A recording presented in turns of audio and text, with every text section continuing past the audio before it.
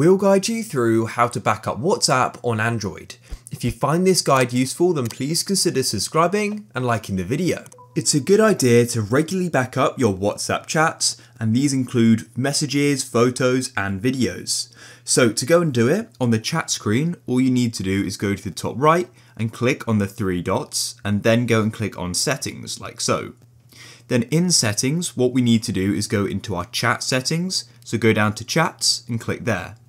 Then all you need to do is go and scroll down to the bottom and you'll go and see the option for chat backup. So go and click there and then what we need to do is go and start setting this up. So first of all, we need to choose the Google account we're going to go and back it up to. So you can basically back it up to our Google Drive. So click there, you can then choose an account. I've already got mine added there, so I'll just go and select it. It'll take a few seconds for it to connect things, and you also need to go and allow it to access your Google account.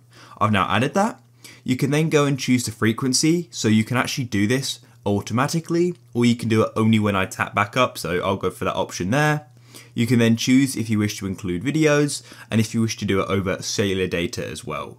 So in this case, I'll include videos. I won't do it over cellular data. You can choose if you want end-to-end encryption as well. And then once you're ready, go and click backup. It'll then go and say backing up messages. Mine won't take long at all because I've got very few messages. You can go and see it's uploading and we've now gone and backed it up.